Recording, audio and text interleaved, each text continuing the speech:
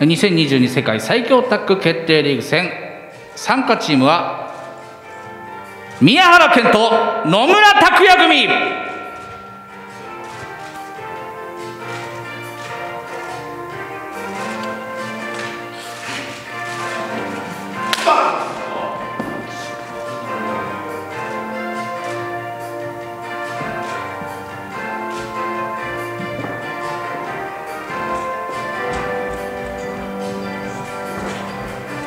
ブルマダズ斉藤潤斉藤麗組。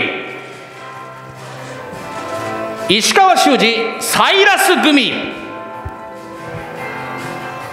土井浩二熊嵐組。永田裕二安西優馬組。ジェイク・リー青柳優馬組。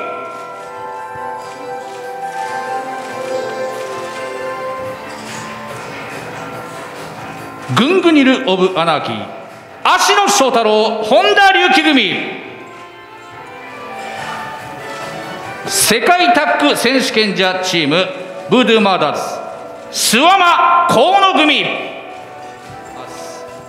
はい、えー、サイラスとは、まあ、王道トーナメント1回戦で戦って、まあ、僕は負けてるんですけど、あいつのパワーはね、多分このチーム、全チームの中で間違いなくナンバーワン。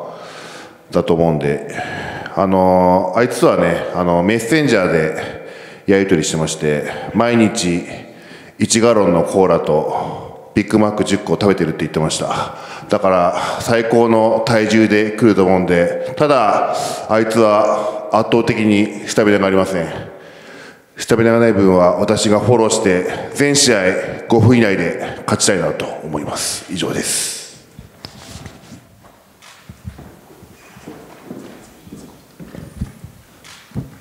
拓也が拓也が先に喋りますんで。あかしこまりました。それでは野村拓也選手よろしくお願いいたします。はいえー、わかりました。えー、まあみね三宅三冠チャンピオンですけどちょっとねうんなんかうんちょっと正確に難ありというかちょっと気色悪いんですけど仮にも三冠チャンピオンなんで僕たちもねお互いの手を取り合って優勝を目指して頑張りたいと思います。健人選手意気込みのコメントをお願いします。はい宮原健人です、えー、今年の、えー、2022最強タッグ、えー、宮原健人と、えー、野村拓也。えー、このチームがなぜ結成されたかというのはこの最強タッグを見れば分かると思います、えー、そしてですね1週間前の試合後にえ、隣にいる野村拓也に僕のツイッターをフォローバックしてくれということを伝えたんですけれどもまだフォローはされておりません。なのでこの会見場で今ここで野村拓也とツイッターでフォローになりましょう。あなたは言っていたツイッターでタックとは一連卓勝だと。一連卓勝とは結果の良し悪しにかからず行動運命を共に進めることと。運命を一緒に共にしようや。マスコミの皆さんの前で俺のことをフォローバックしてくれ。拓也。わかりました。ちょっと待ってください。友達になろうよ。フォローバックしますねじゃあ。はい。うんタッグですから。はい。仕方ないですけど。よし。フォローバックします。えい。よっしゃこれで、はい、友達や。そして友達にもなったし僕たちのタッグ名をここで発表します。急にですか？決まってるんですか？決まってる宮健と拓也です。ハッシュタグ宮健と拓也。宮健と拓也はカタカナ。今日からスタートだ。宮健と拓也。みんな応援してくれ。優勝しようや。優勝しましょう。以上です。FU お前ら全員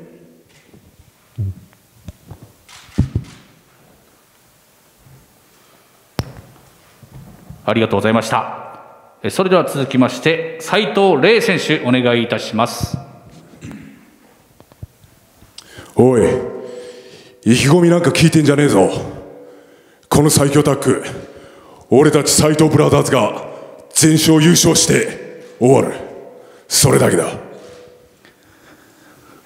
はい、えー、最低で最高のタッグチーム土井熊土井浩二です、えー去年はねこの世界最強タッグリーグ準優勝でしたので今年は優勝しか見てません、えー意気込みは以上です。ありがとうございました。えそれでは続きまして熊嵐選手よろしくお願いいたします。あちょっと待って待って。おシュープロ来てるかシュープロ。シュープロ宮尾。おこの前のお前世界タッグ戦散々なこと書いてくれたじゃねえかおい俺たち0点だったか？おい。マイクねえのか？マイクねえの？大体よお前よアーシノのバカ野郎のポジショントークデカデカと載せてんじゃねえよおめえ。おい。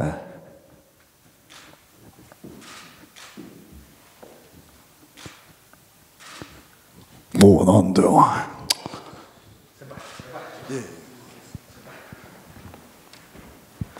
おい宮尾お前。ポジショントークでかでかと載せてんじゃねえっつってんだ。お前忖度してんなよお前。おい。お前記者だったらよ試合のレポートだとかてめえの感想書けバカお前。なんか言ってみろお前。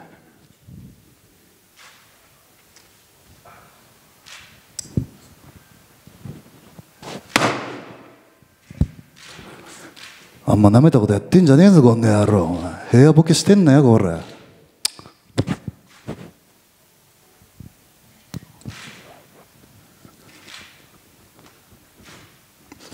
まあいじめんのはよかわいそうだから。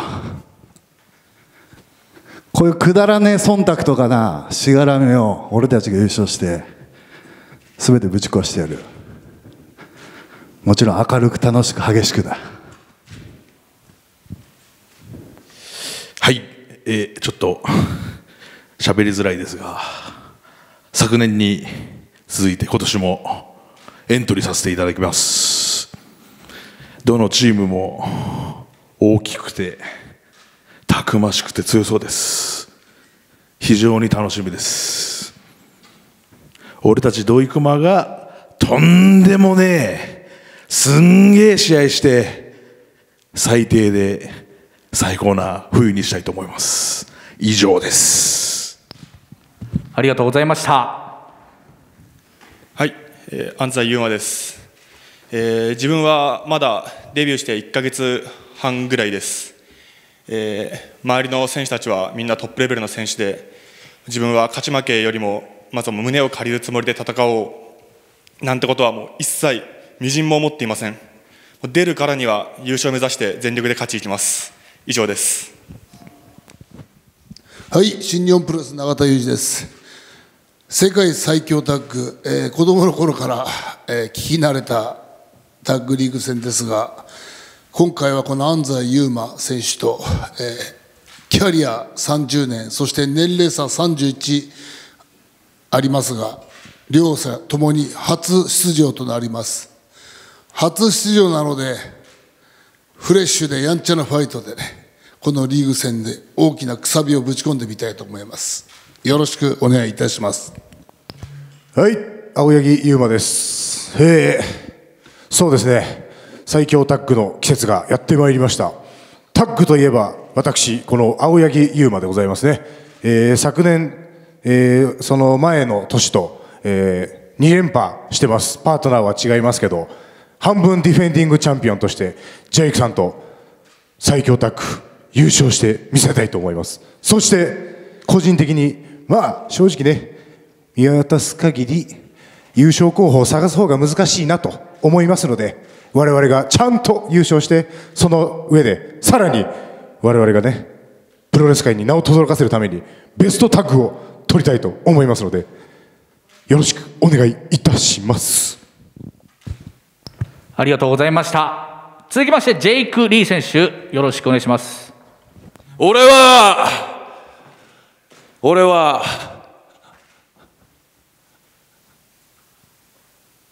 あんたらのケツをぶっ壊す。そして今まで築き上げたジェイク・リー全部をぶっ壊す。築き上げたものすべてだ。これは挑戦だ。三冠も取っていろいろやってきたけれども俺は挑戦し続ける。そしてもっともっと面白いものを見せてやる。青柳優馬と一緒にな。なあ違うか？青柳優馬。そうだろ？もちろん。以上だ。覚悟しとけてくれえーまず、えー俺たちの一番の目的はこの世界タッグのベルトを奪い返すことなんですけどまあこの最強タッグリーグに出るということで他の全7チーム全員俺たちでもう破壊してやろうかなって思ってます。以上です。ありがとうございました。続きまして芦野翔太郎選手お願いいたします。一生懸命頑張ります。えーえー公式戦すべて、えー正々堂々戦って2人で優勝を目指していきたいと思います。世界タッグチャンピオンの権威を、えー地方にも伝えていくのは僕らの使命だと思ってます。ありがとうございました。それでは諏訪間選手お願いいたします。今相方がなんかもうすげえ真面目なことをなんか言ってるんで逆に気持ち悪くてこう、うん何考えてんだか分かんねえっていうものを感じたわけでまあこれはまあへそ曲がってる相方なんでね、うん、真に受けちゃいけねえんだなっていうのは今思ったんだけど、うん、まあブードゥーマーダーズとして、ね、この世界タッグ王者としてこうね挑むわけで、うん、完全優勝をね、最強タッグ優勝したら成し遂げるわけでそしたらまあ、うん、ブードゥーマーダーズここにあるっていうのは証明されるわけで、うん、まあ俺ら、ね、ブードゥーマーダーズ2人だけでも強いけど、うん、まあ総合したら俺らまだまだね懐の深いとこも見せれるわけで、うん、まあそこまで出さ出さなくてもいいのかなっていうぐらい、うん、思う。ね、このなん最近こう記者会見っていうものが、ね、なんかこうネタのお披露目会みたいな感じがものすごい受けるんでね、うん、まあ肝心なのはリング上であり、うん、リング上どのぐらい緊張感ある、ね、悲鳴を上げさせる、ね、そういう試合がキーになってくるんじゃねえかなと俺自身は思うんでね。まあ俺自身勝負だなと思ってます。みんな俺らに挑戦してくればいいんだ。俺らはチャンピオンなんだ、うん、俺らがベストなタッグチームなんだ。それを証明してやる。まあ、先ほど言われたその完全優勝というものを成し遂げた先に、まあ、多分来年以降になると思うんですけど見据えているものがあれば教えてください。当然まあ完全優勝したらもう次はもうシングルだろうと、うん、もう俺の中じゃイメージできてるんだ、うん、それはもう当然三冠に行くと、うん、もうそれはもう早急に、うん、通告してやるな、はい、そう思ってますよ。あと宮原さんにお聞きします、まあ、先ほど青柳選手もおっしゃっていたんですけども、まあ、昨年まで2連覇、まあ、今回パートナー変わりますけど3連覇に挑むわけですけども、まあ、この50周年イヤー三冠チャンピオンとしてかつ最強タッグ3連覇を成し遂げれば最高の形でこう締めくくれられるのかなと思うんですけど意識されるところはありますか？僕は毎回この最強タッグのリーグ戦に挑むにあたってもう三冠チャンピオンというものを一つ置いて忘れて僕は挑むつもりなんで、まあ、別物として考えてますよね。ただね今回は何かの巡り合わせで拓也が僕の隣に立つわけであって最初なんでなんだろうなと思ったんですけど物事には常に意味があるんでね。拓也と合体技も考えてるよね拓也。考えてましたっけ？まあ後で拓也の SNS を見れば僕らの合体技をお披露目しますからちゃんと書いといてくださいねそれは。後で SNS で公開しますよ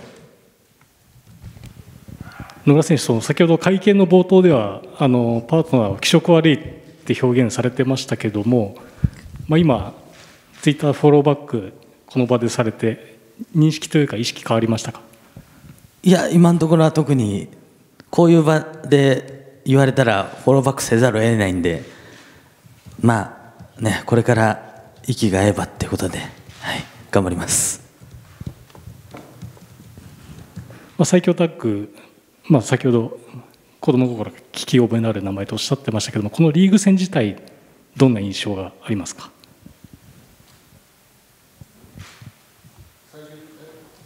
だけのリーグ戦の印象ですか？そうですね。開幕戦であのみんなあのタグをつけてあのリングに上がってお客さんの前に紹介された後に突然乱闘が始まるという。そういうイメージがすごく強いですね。はい。今回パートナーが安西選手ということでデビュー戦でまあ胸を貸したわけですけども今回は組んで何かこう叩き込むものっていうのがあるかと思うんですけどもいかがでしょうか？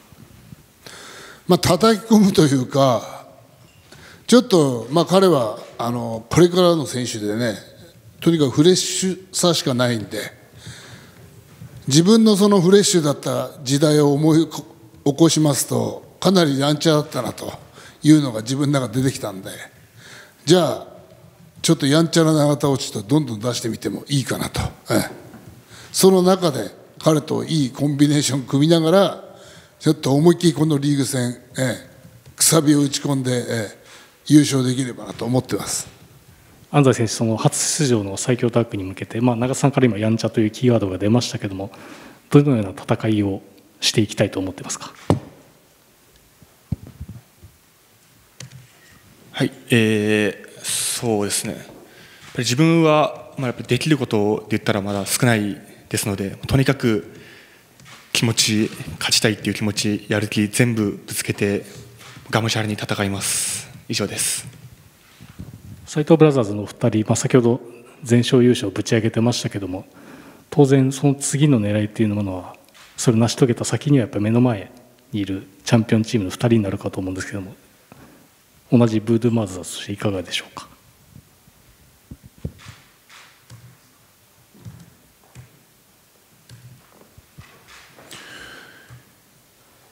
いいか。同じユニットだろうが関係ねえ。ただやり合うだけだ。あとジェイク選手先ほど今までのジェイクリーを全部ぶっ壊すという発言されてましたけどもそういう思いに至った何かこう理由といいますかありますでしょうか？今年に入って最初は鼻と目ぶっ壊れててでベルト取ったと思いきやベルト失って武道館では秒殺でもう散々な目に、まあ、結局けどそれが俺の実力なんだなって。けど俺はそれのことに対して全く悲観してない。それも全部ひっくるめて俺なんだから。だったらもっといろんなことやってみてその結果を全部覆してやるよって。お客さんが求めてるのは変化でもありそれは俺も同じ気持ちで。だったらもっともっといろんなことやってみてさ。それでもっと面白いもん見せたらさもっと多くの人が見てくれんじゃねえのかなって。こんなご時世だからよ。そんなことやってるやつが一人二人いてもさ別におかしくないじゃん。だったら俺はやるよ。2022世界最強タッグ決定リーグ戦は全8チーム参加で11月13日後楽園ホール大会より開幕いたしまして12月7日後楽園ホール大会まで総当たりリーグ戦を行います。